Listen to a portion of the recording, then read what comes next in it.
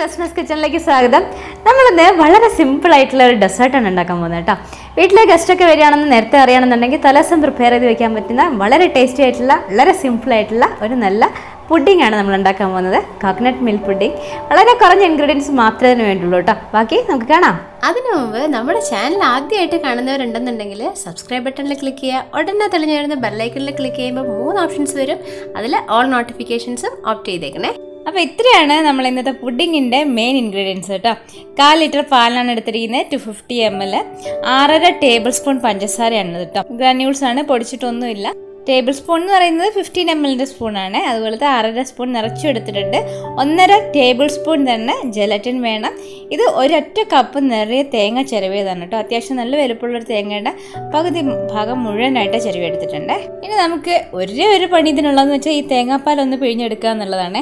ഈ തേങ്ങാപ്പാലിൽ എടു പിഴിഞ്ഞെടുക്കാനായിട്ട് പെട്ടെന്ന് കിട്ടാനായിട്ട് നമ്മളൊരു ഇളം ചൂടുള്ള വെള്ളമാണ് ഇതിലേക്ക് ഒഴിക്കുന്നത് കേട്ടോ ഏകദേശം ഒരു മൂന്ന് നാല് ടേബിൾ സ്പൂൺ വരെ ഞാൻ ഇതിലേക്ക് ഒഴിച്ചപ്പോഴാണ് എനിക്ക് ടു ഹൺഡ്രഡ് എം എൽ വേണം നമുക്ക് തേങ്ങാപ്പാൽ. അപ്പോൾ അതിനായിട്ടൊരു നാല് ടേബിൾ സ്പൂണോളം ഒഴിച്ചപ്പം എനിക്കൊരു ടു ഹൺഡ്രഡ് എം എൽ തേങ്ങാപ്പാൽ കിട്ടിയിട്ടുണ്ട്. അതിപ്പോൾ തേങ്ങയുടെ ഒരു സ്വഭാവം വെച്ചിരിക്കും കേട്ടോ അപ്പോൾ നിങ്ങൾ അധികം വെള്ളം ഒഴിക്കാതെ കുറച്ച് കുറച്ച് ഒഴിച്ച് ഒരു ടു ഹൺഡ്രഡ് എം എൽ ആവുന്നവരെ പാലെടുക്കുക നന്നായിട്ട് പിഴിഞ്ഞെടുക്കുക.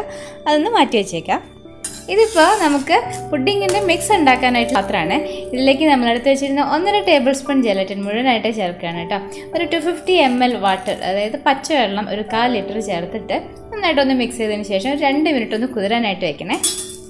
അങ്ങനെ രണ്ട് മിനിറ്റ് കൊണ്ട് നമ്മൾ ജലറ്റിനൊക്കെ വെള്ളത്തിൽ നന്നായിട്ട് കുതിർന്ന് വന്നിട്ടുണ്ട് കേട്ടോ. ഇതിലേക്ക് നമ്മൾ തേങ്ങാപ്പാലും പശുവും പാലും പഞ്ചസാരയും കൂട്ടൊന്ന് നന്നായിട്ട് മിക്സ് ചെയ്യണം. അത്രേ ഉള്ളൂ ജോലി കേട്ടോ. ഈ ജലറ്റിനും ഷുഗറും ഒന്ന് നന്നായിട്ട് ഡിസോൾവ് ചെയ്ത് വരാനായിട്ട് മാത്രം നമുക്കൊന്ന് ഫ്ലെയിം ഓൺ ചെയ്തിട്ട് സിമ്മർ ഫ്ലെയിമിൽ മാത്രം ഒന്ന് ഇതുപോലൊരു തവിയോ വിസ്ക് അങ്ങനെ വെച്ച് നന്നായിട്ടൊന്ന് മിക്സ് ചെയ്തുകൊണ്ടേ ഇരുന്നാൽ മതി കേട്ടോ ഒരുപാട് നേരമൊന്നും വേണ്ട. സിമ്മർ ഫ്ലെയിമിൽ മാത്രമേ ചെയ്യാനും പാടുള്ളൂ. പാൽ തിളച്ചു പോകുന്നും വേണ്ട. ഒന്ന് ജസ്റ്റ് ഒന്ന് ചൂടായാൽ മതി കേട്ടോ തിളച്ചാറിയ പാൽ തന്നെയാണ് നമുക്കിതിനായിട്ട് യൂസ് ചെയ്യുന്നത്. അപ്പോൾ ഇപ്പോൾ നമ്മൾ ഷുഗറും ജലാറ്റിനൊക്കെ നന്നായിട്ട് മിക്സ് ചെയ്ത് വന്നിട്ടുണ്ട് കേട്ടോ നല്ല ഡിസോൾവ് ആയി വന്നിട്ടുണ്ട്. ഫ്ലെയിം ഓഫ് ചെയ്യാണ്. ഇനി നമുക്ക് പൊട്ടിങ് ഉണ്ടാക്കാനുള്ള ട്രേയിലേക്ക് ഇതൊന്ന് പകർത്തിയാൽ മാത്രം മതി കേട്ടോ. അപ്പം നമ്മൾ ഇനി കാണിക്കാൻ പോകുന്ന കാര്യങ്ങൾ ഓപ്ഷണലാണ് കേട്ടോ. ഇതില്ലാതെയും തന്നെ നമ്മൾ ഈ പുഡിംഗ് വളരെ ടേസ്റ്റി ആയിരിക്കും.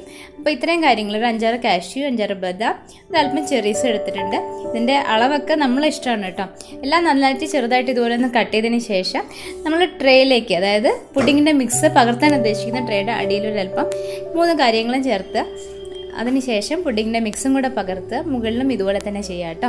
അപ്പോൾ ഇത്രയും ചെയ്തതിന് ശേഷം നമുക്ക് ഫ്രിഡ്ജിൽ ഒരു മൂന്നോ നാലോ മണിക്കൂർ സെറ്റ് ചെയ്യാനായിട്ട് വെക്കണേ. അപ്പോൾ നമ്മുടെ കോക്കനട്ട് മിൽക്ക് പുഡിങ് നാല് മണിക്കൂറിന് ശേഷം നല്ല ബ്യൂട്ടിഫുൾ ആയിട്ട് സെറ്റ് ആയിട്ട് വന്നിട്ടുണ്ട്. ഇനി നമുക്ക് ഒന്ന് ഡിമോൾഡ് ചെയ്തും കൂടെ നോക്കാം അല്ലേ?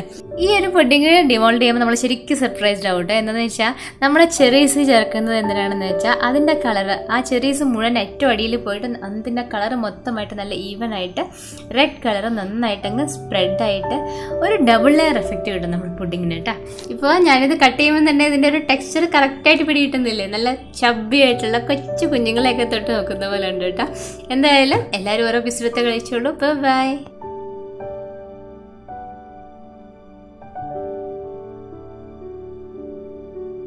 അപ്പോൾ നമ്മൾ കണ്ടല്ലോ അല്ലേ?